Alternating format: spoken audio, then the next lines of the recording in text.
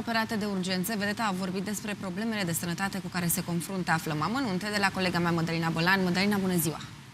Bun găsit tuturor! Așa cum bine știm cu toții, Andreea Marin a avut parte de uh, o vară explozivă, a avut parte de multe vacanțe, s-a distras, s-a simțit bine alături de partenerul ei de viață, dar desigur și de uh, fica ei și uh, cum uh, a venit toamna s-a hotărât să acorde atenție mai mare sănătății sale. Știm cu toții că a apărut în presă de-a lungul uh, timpului tot felul de articole conform cărora um, Andreea Marin ar fi bolnavă. Ei bine, Andreea Marin ne-a liniștit dacă vreți, trebuie să fie operată, este adevărat. Uh, Andreea Marin uh, va uh, suferi o intervenție chirurgicală, dar totodată ne-a lăsat de înțeles că nu trebuie să ne îngrijorăm pentru că nu este nimic grav.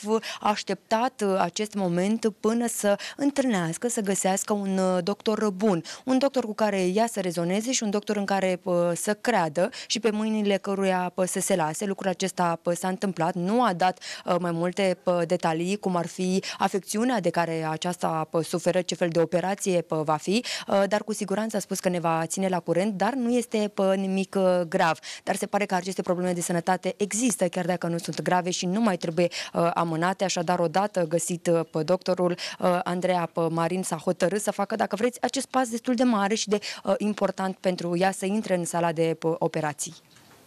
Darina, mulțumim!